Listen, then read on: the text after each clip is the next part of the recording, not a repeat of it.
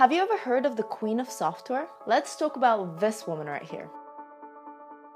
Hi, my name is Masha, I'm the Coding Blonde, and today I want to tell you the story of a woman whose list of achievements is endless. Grace Hopper, or Amazing Grace, was a United States Navy Rear Admiral, an outstanding mathematician, and a pioneering computer scientist. She popularized the term computer bug and is also known as the Queen of Software for creating the first machine-independent programming language. Here's the story of this inspirational woman. A little bit of context. Originally Grace Brewster Murray, she was born in New York in 1906.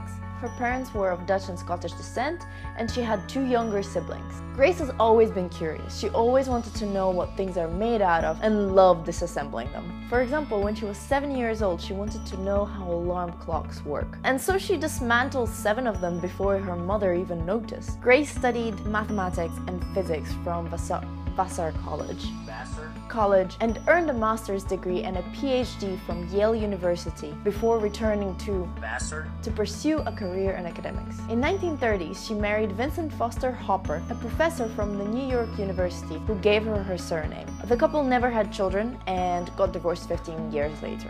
As World War II shook the world, Grace Hopper felt like it was her duty to contribute. And despite her age, by then she was already 37, which was considered to be old for the military.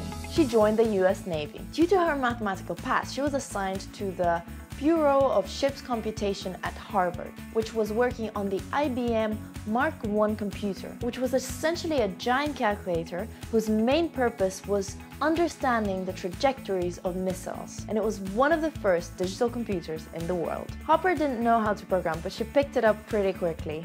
She was one of the first three people to program Mark I. When the war ended, Hopper resumed her research at Harvard. She soon started working on a project developing UNIVAC 1, which stands for Universal Automatic Computer. Admiral Hopper believed in change and always tried to do things differently. She had a pirate flag in her office as she called herself a pirate sometimes, and a clock that was going backwards. And one of her famous quotes is, humans are allergic to change. They love to say, we've always done it this way. I try to fight that. That's why I have a clock on my wall that runs counterclockwise. And programming at the time consisted of entering complicated numerical sequences in order to do mathematical calculations. Grace Hopper believed that the process could be simplified in order to appeal to a wider audience and to add more functionalities. And in 1952, her team developed the first compiler, a program that translates human commands into computer language. But Grace Hopper didn't stop there.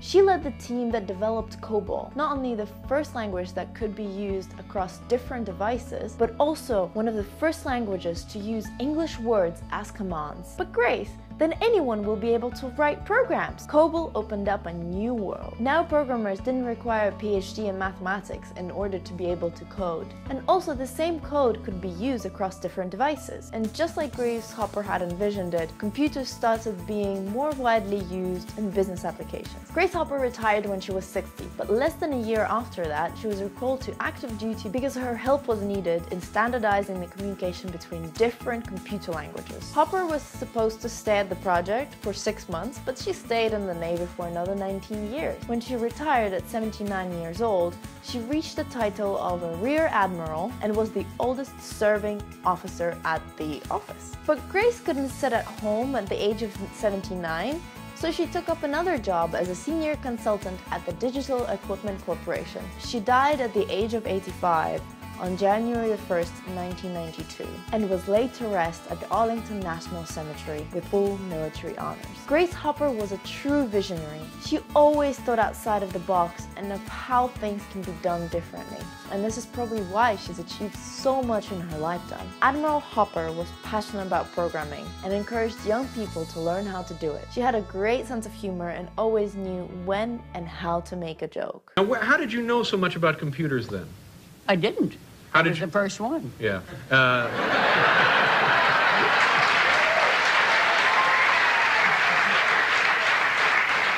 And As I've already mentioned, the term debugging was popularized by Grace Hopper. When she was at Harvard working on Mark II, the computer wasn't functioning properly. And as it turns out, there was an actual moth that was stuck in the computer. And when it was removed, the machine continued working. So Grace called that debugging. Amazing Grace is truly amazing.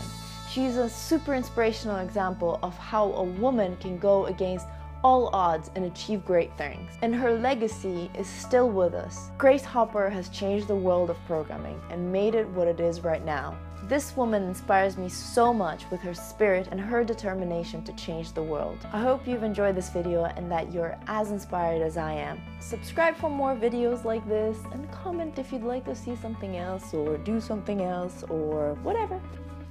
Bye. Vassar?